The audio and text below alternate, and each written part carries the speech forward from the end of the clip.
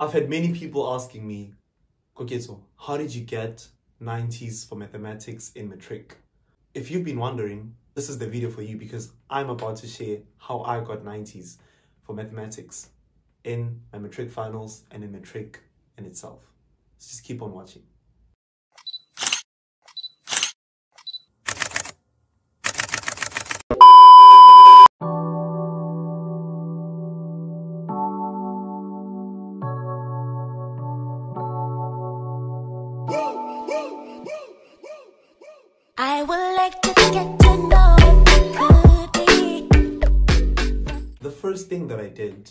Was I always kept in my mind, Uguti, I must not sleep on easy topics.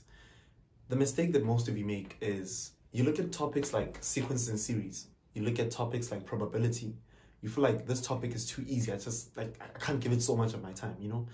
I mean, I understand if it was something like analytical geometry because at times it's quite simple, but still, you shouldn't sleep on these easy questions because those marks that you would be getting from sequence and series or from number patterns, as most of you all know it as, they can determine whether you pass or fail. They can determine whether you get a distinction or not. They can determine whether you get an 80 or a 90. So don't sleep on all those questions. Just make sure that you master every single thing. Don't be too focused on mastering mathematical modeling. Don't be too focused on mastering Euclidean geometry that you end up neglecting these small marks because at the end of the day, it will come back to haunt you. And I promise you, just make sure to not sleep on those particularly easy topics. The next thing that I did was to make sure that I always engage with my teachers, both in and out of class. By the time of recording this video and releasing it, it will probably be prelims or they'll just be a bit weeks nyana from starting. So this is what I want you to do. You engage with your teachers. If you are still in class and asking questions, raise your hand. Ask questions. Like literally just raise your hand whenever you don't understand anything. Engage. Boza, dude, how did you get this number? Actually, don't be afraid to ask questions because this is your future. If you care about what people say, you will suffer in silence. You need to focus on yourself. This is like this is the time now where you need to focus on yourself and ask a question. Whether you feel like a question is stupid or there is no stupid question, but there is a stupid answer. So just make sure you ask questions. Ask questions. And if now, let's say your teaching time, teaching period is over, and you can't necessarily go and ask your teacher for any advice, uh, like to to to like in class ask questions, then the best thing you can do is I don't know if you have your teacher's number, then message them. If you can't, then just find a way to talk to other people. Just ask questions because there is nothing that is to me worse than having a question and then we are told you keep quiet with it. And the worst thing that can happen is that that question avails itself in a test or an exam, and then you have regrets. So just ask questions. The next big thing, another thing that I would always do was to attend extra lessons. You need to attend extra lessons. You could never know enough. Matric taught me that you could never know enough. I'll tell you what, you think, okay, sure, I'm well on the way of getting 100%, I'm going to get a distinction, I'm smart, I'm the smartest in my school. Listen, attend extra classes. There's this one question that you've not done before, that you haven't seen before. There's this variety or variation of questions that you haven't seen before. And going to an extra class might open your mind to it. You should attend extra classes because you will not regret it. Unless if your extra classes that you attend are just not effective. But extra classes like the ones that I attended were absolutely effective, I can tell you. So just make sure to attend extra classes. Whether you're smart or not, attend extra classes. Whether you go to a nearby school, whether you go to extra classes that are paid for, just attend some form of extra classes and you will thank me later. You'll thank me later. Next thing that you'd want to do is to find tutoring solely on the basis that you can afford it. Because one thing about having a tutor, especially if it's a personal tutor, is that they focus solely on your own weaknesses and strengths. Um, as opposed to in a class setting where we are all there, we are all there to learn, they will teach a topic. They won't, because in that topic I struggle with this thing, they won't now stop the whole class just to teach me that thing while the class is there. But having a tutor, you can ask them the question, you can engage. If you can afford it, if you have the financial capability, find yourself a tutor and just find a good a good person to tutor you and you will not regret it i promise you you will see a bit of improvement and at the end of the day it will all be worth it just find tutor well the next thing that i made sure that i always do was to outsource my resources like to other schools i had a friend i still have him but he's a brother now but it's fine i had a friend who was from some school nearby where I was, and then uh, I used to study with another girl who was from a school that is nearby. It was sort of in the same region. The main idea here is that I study with people from other schools, and this helps us combine our material. So if you come from Doc McStuffins High, then you come, you you bring your past paper from there, and then I come from Peter's what what High, and I bring my test paper. Surely we did not write the same test paper and we can just compare. You know, I bring in my paper, you bring yours, intertwine them. Then surely I'll learn something. Like I haven't seen that type of question set up. If you compile resources with other people, especially from other schools, it actually helps because at the end of the year, we will all be writing the exact same question paper. And for your prelims, as a province, Gauteng, KwaZulu-Natal, Eastern Cape, you'll be writing the exact same question paper. So it doesn't matter whether I study the things from my school, at the end of the day, we'll all be writing the exam that is the same. So that is why I'd always outsource and talk to people that are like close to me that are in other schools doing the same thing just to get their resources and then exploit them essentially. And again, being in the CAPS curriculum doesn't really limit you to doing only CAPS past papers.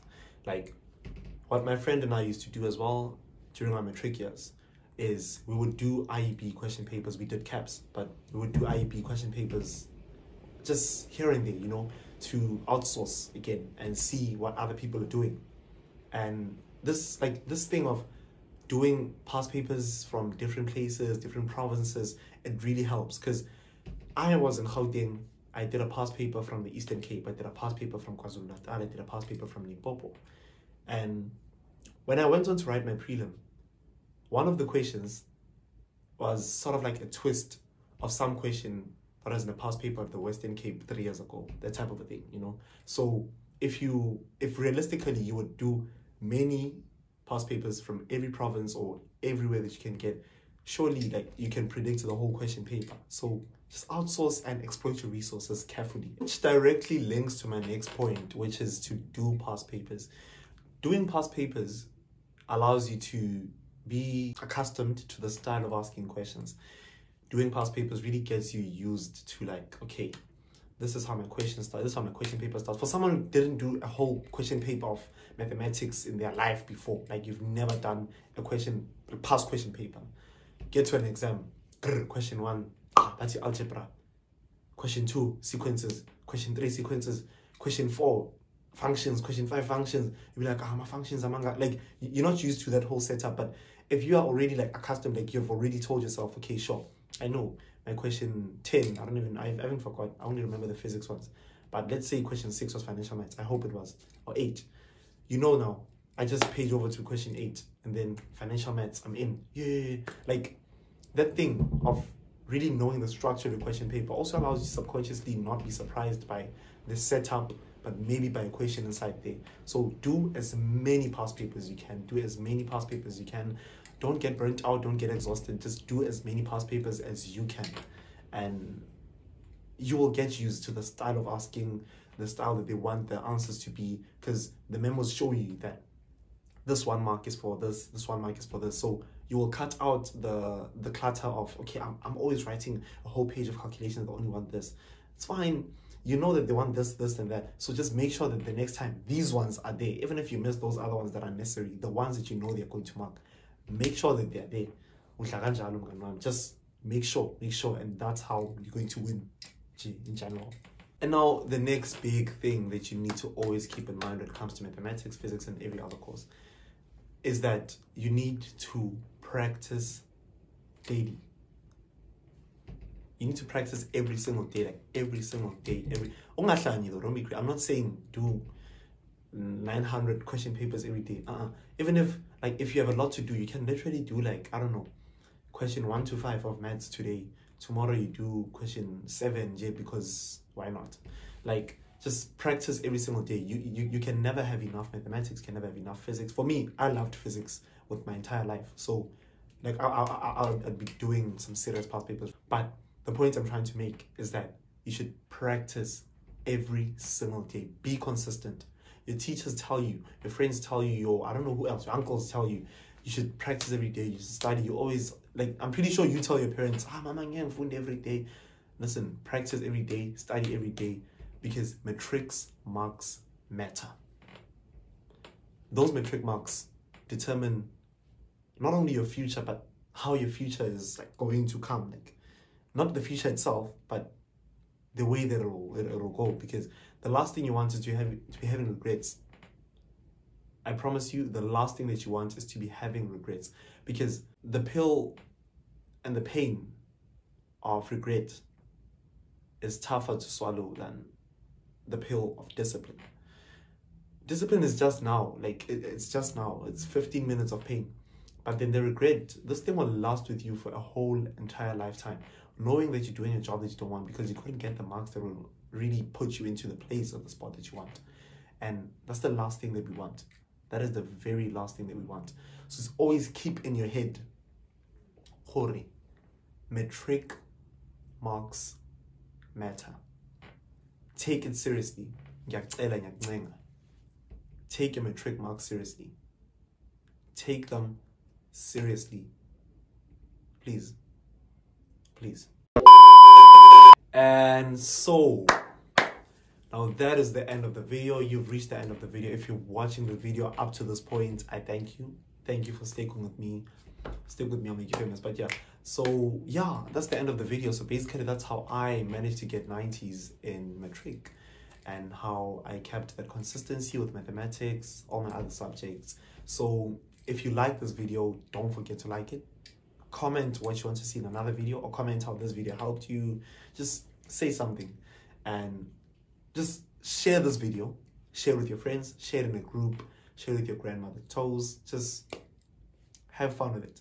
But the point I'm trying to make here is this video was for you. And I hope that you really will pick some tips from it. And good luck with your matric exams. Good luck. I want y'all to come back with testimonies of, dude, I watched a video, I came back. Whenever I see these things, they really make me want to keep going. So just keep them coming. But besides that, don't forget to like, comment, and subscribe. And I'll see y'all in the next video. Peace.